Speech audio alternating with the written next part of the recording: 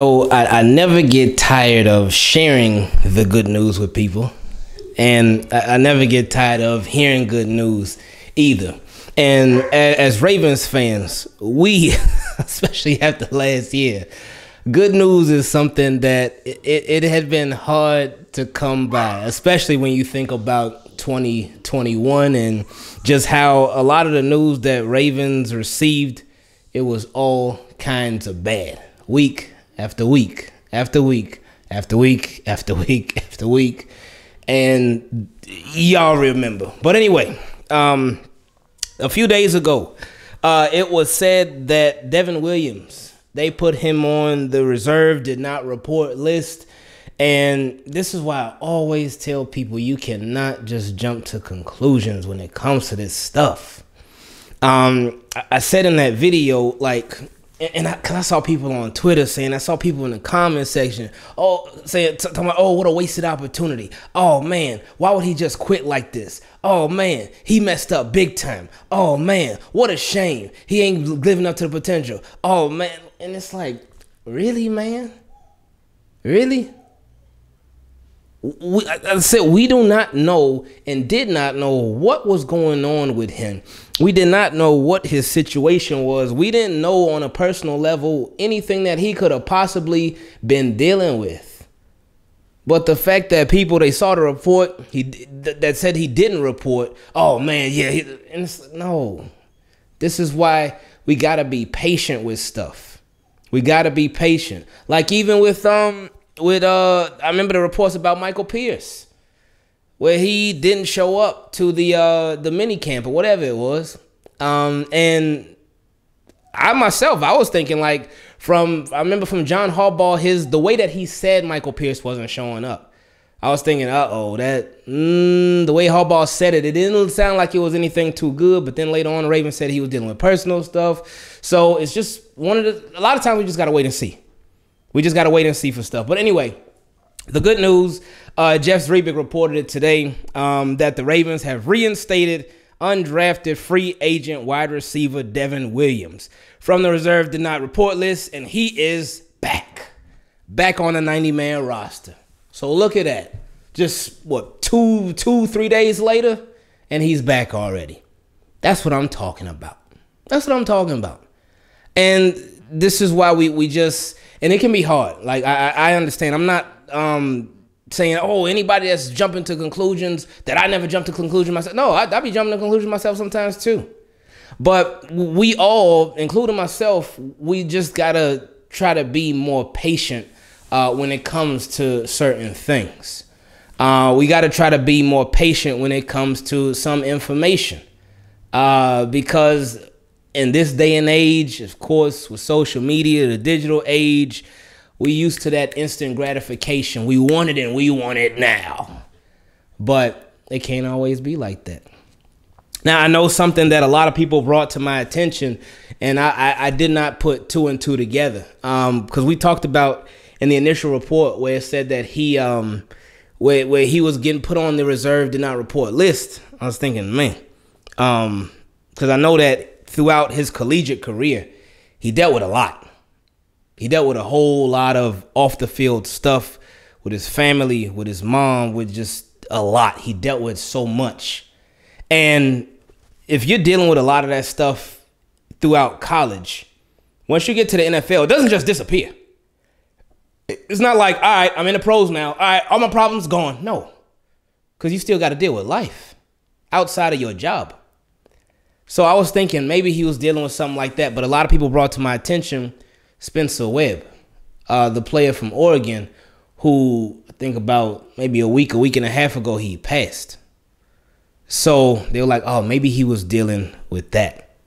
And I was like, ah, didn't even think about that. Because that certainly could be something that will play a part and could play a role in just really throwing throwing somebody off uh, big time. So, um, yeah, man. Hopefully, with with Devin, uh, everything's cleared up now. Hopefully, he'll be good to go. Hopefully, he'll uh, just go out there and do his thing now. And hopefully, uh, for him, really for everybody, even though it's it's hard to say it because again, they are football players, yes, but they are human beings, yes. And they are human beings before they put on any jersey from any team. So I, I was gonna say, hopefully now everybody, every Raven player that set that set the facility and whatnot, getting ready for training camp. Hopefully now they don't have any distractions. But I do know, um, I mean, speaking from experience, we all have experience as human beings, even though we have jobs to do, we have work that we need to take care of. We and we would hope that there wouldn't be any distractions, but that's part of life. Stuff comes up, stuff happens. It's just life. Uh, but it's it's nice to see that he uh, is officially back. Uh, so good for him. So um, hopefully this is a uh, a long road ahead for him uh, when it comes to just his career in general. Um, he is at a very pivotal point for the Baltimore Ravens, uh, especially given their current situation at the wide receiver position. And I know some people are tired of talking about it. Y'all know I'm not. I, I talk about it all day, every day. Um, respectfully, though, of course, because different people got different opinions on the whole wide receiver situation. But he is at such a pivotal point uh, of the Baltimore Ravens, just their franchise, when it comes to the wide receiver position. Because again, they haven't signed any veterans. Haven't signed any veterans yet. None. And they're riding with, for now, the only guys that they drafted and then undrafted rookie free agents. And that's it. That's all they got right now. Those are the guys that are on their squad. Those are the guys that are on their team. And it's like, oh, okay. It, are, are y'all to roll with that? And if so, then he has a big opportunity here. Because they have four guys that are essential locks. We pretty much figure that those guys are locks. Rashod Bateman, James Proche, Devin Duvernay, Tylan Wallace. Those guys are locks. But there's at least one more receiver spot up for grabs. Maybe two, but definitely one. So, Devin Williams, Makai Polk, Slade Bolden, Shemar Bridges, Benjamin Victor. Benjamin Victor. I said I think I said Benjamin. I was about to say Benjamin Victor. Benjamin Victor. It's a big opportunity, man. Huge opportunity. And this this season is just so huge because a lot of people have their doubts about the Ravens and their receiver unit, including myself. Y'all know that. And and it's not even necessarily well, I guess for me it's not necessarily even doubt, it's just just that unknown part. Just the unknown. It's like I I I don't know.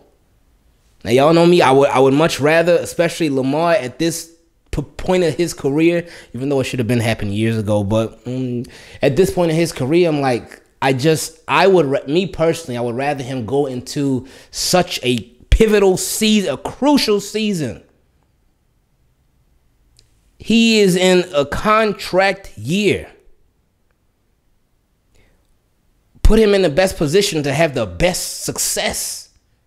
That's that's one of the biggest reasons why I want them to to go out and get a proven guy.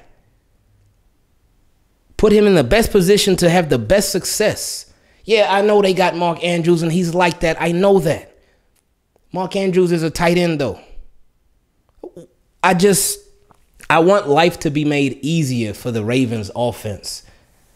I, I want them to have more diversity. I want them to have more just create not even well creativity, but not even necessarily creativity, but just options, more options. Oh, that number one corner is taking on Rashod Bateman. Oh, man, he been locking him up all game. Oof. Oh man, they they doubling Mark Andrews. Oh man, who else is it gonna be? Not saying the other guys can't do it, but I would rather somebody who's been doing it and who is like that. And the other guys will still get their chances too. They still get their opportunities too. Cause Ravens, they they gonna be spreading that thing out more. Or hopefully. But I don't know, man. we gonna see. But um again, this is it's such a, a, a, big year for Lamar Jackson. It's a, a big year for Greg Roman. And I, hey, I want Greg Roman to have all the success in the world because that would mean that the Ravens' offense is having all the success in the world. So I, I want him to do a phenomenal job. Phenomenal job. Tee Martin and Keith Williams. This will be their second year. So they'll be a little more comfortable with the team, a little more comfortable with the squad, a little more comfortable with the receivers. And we're going to see. We're going to see if their impact continues. Because it's, it's already started. We saw it. We clearly saw it last year. The impact was definitely there. But now, can they take it to that next level? Can they get the guys that the Ravens have to take it to that next level? That's what we're waiting on to see. That's what we're hoping to see. Because, again, I, I said this before. By no means am I rooting against the guys that the Ravens have. No, not at all. I want them to go out there and kill it. Whoever's out there for the Ravens, I want them to go out there and kill it. Hey, if Ravens get a receiver, somebody before the season starts, okay, cool. Uh, well, depending on who it is, okay, cool. Maybe not, but depending on who it is. And if they don't get a receiver, all right, well, let's roll. Let's see what we got. Let's hope for the best. Shoot for the stars. But yeah, man, I'm um it's just a, it's, it's, a very exciting season, but it's a very pivotal season too. It's a very crunch time season, and, and this season, um, so much is going to change after this season, and things could go really good, things could go really bad.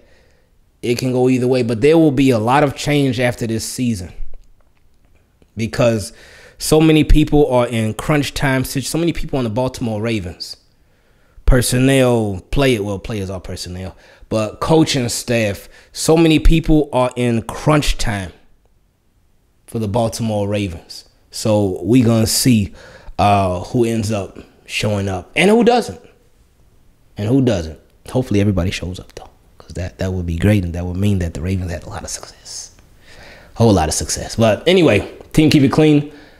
I love y'all. I appreciate y'all. And shout out to Good News. We out.